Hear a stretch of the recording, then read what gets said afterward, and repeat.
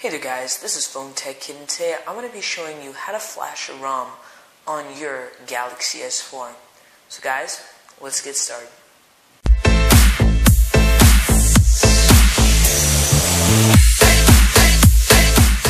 Okay, so for this method to work, you do need to be rooted and you do need to have a custom recovery installed.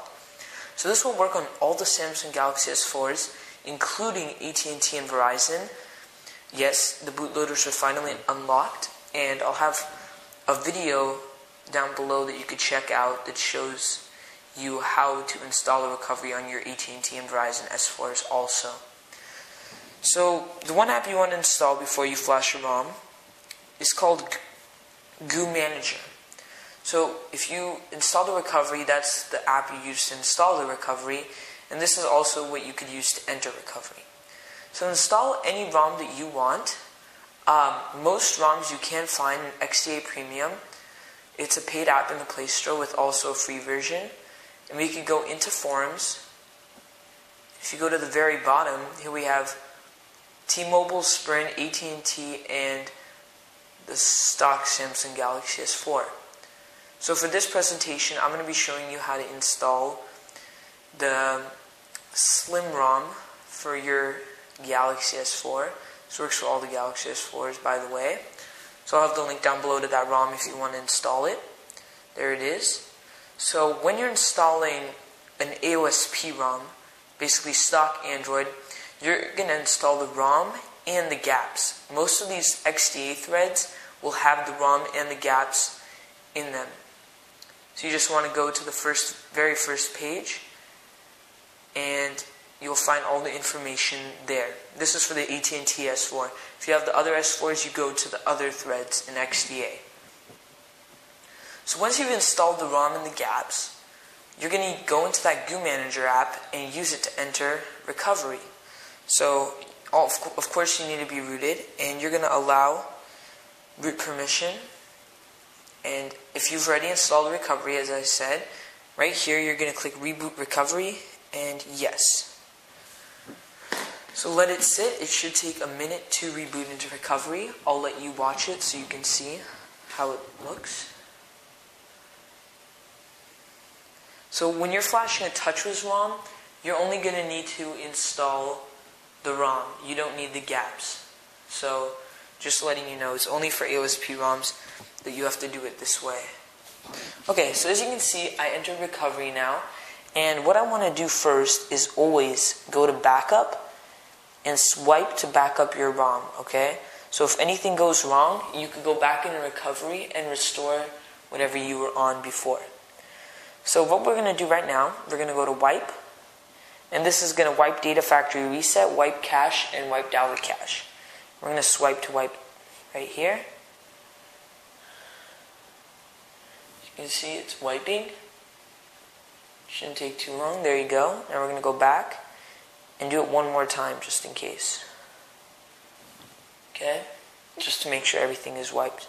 Now we're going to go home and we're going to go into install. So go all the way back. Oops. Until you get over here. So most of the ROMs you probably install will be on your internal SD card if you install them straight to the phone. Let me zoom in a little so you can see better. There you go. So we're going to click on internal SD. Okay, there's nothing there, so sorry. Keep going down until you get to SD card right here. We're going to open that up. Then we're going to go down to download. So here I have all the stuff that I could flash. Here I have the slim ROM and the slim Gapps. Extras is just something I installed. You do not need that. So you always want to flash the ROM first. So we're going to click on slim right here.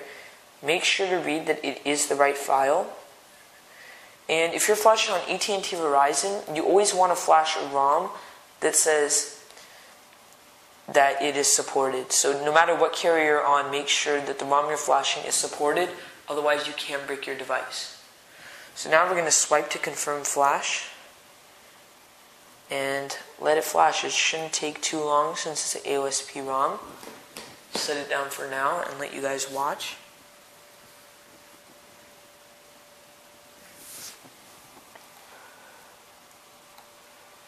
And just give it some time as it is flashing a completely different basically OS on your phone.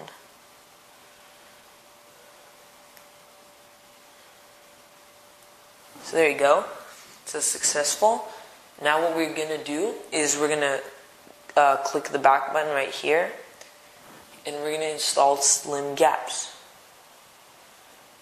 And make sure it's the right thing and you're going to swipe to confirm flash.